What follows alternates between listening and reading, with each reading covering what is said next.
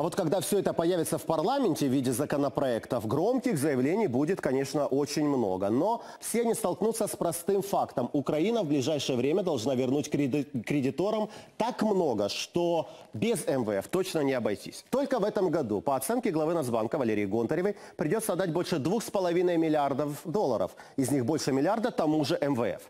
В следующем году тоже придется вернуть фонду впечатляющую сумму – больше 2 миллиардов долларов.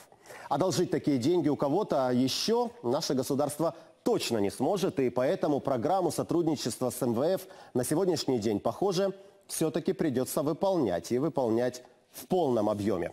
Но вот как это сделать?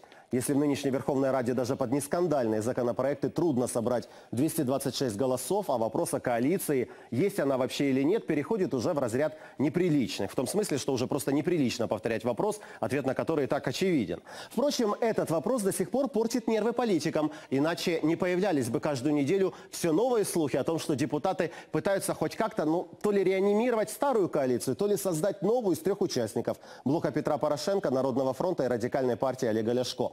Вот и на этой неделе в СМИ опубликовали проект очередного коалиционного соглашения на троих, так называемую программу переформатирования старой коалиции и разделения власти, вплоть до выборов 2019 года.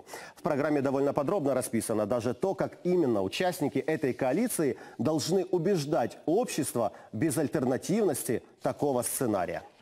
А вот главный герой всех этих слухов о новой коалиции Олег Ляшко даже во время отдыха в Вене не удержался и еще раз прокомментировал тему. Но сделал это двояко. С одной стороны, он вроде бы и отказывается спасать БПП и Народный фронт, которым отчаянно не хватает депутатов. С другой стороны, заявляет о своей готовности стать третьим в коалиции и называет ряд условий. Публичная их часть сводится к очень популярным вещам, к примеру, повышению зарплат и пенсии.